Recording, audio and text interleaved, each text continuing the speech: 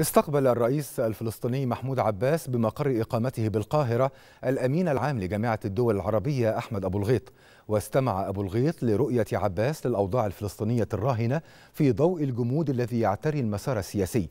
كما أكد أبو الغيط أن الجمود في المسار السياسي ينذر بأسوأ العواقب وأن إيجاد حل عادل ودائم للقضية الفلسطينية بإقامة الدولة الفلسطينية المستقلة على حدود عام 1967 وعاصمتها القدس الشرقية يعد مفتاح الاستقرار في الشرق الأوسط.